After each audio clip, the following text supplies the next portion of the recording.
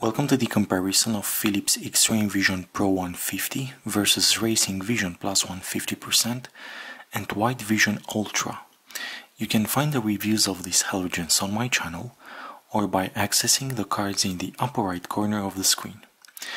If you would like to purchase them, I will be grateful to you if you'll use the Amazon links found in the description of the video as well as in the comment section below and if you would like to support me on YouTube, please share this video, give me a like and subscribe to my channel.